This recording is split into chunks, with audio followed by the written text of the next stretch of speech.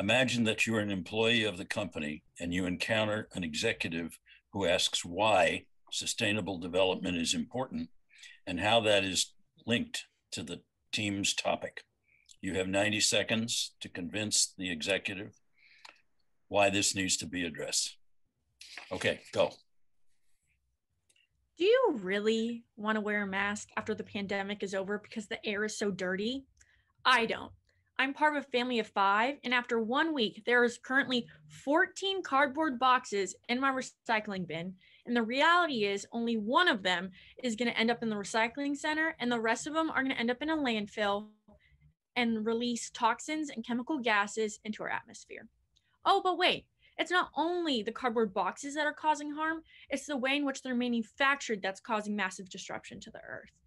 It releases emissions such as vinyl chloride, CFCs, anthropogenics, and even hexane. However, we have a solution for you.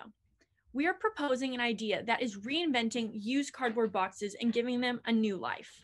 Our cardboard boxes serve as a dual purpose to drive a more sustainable product lifestyle.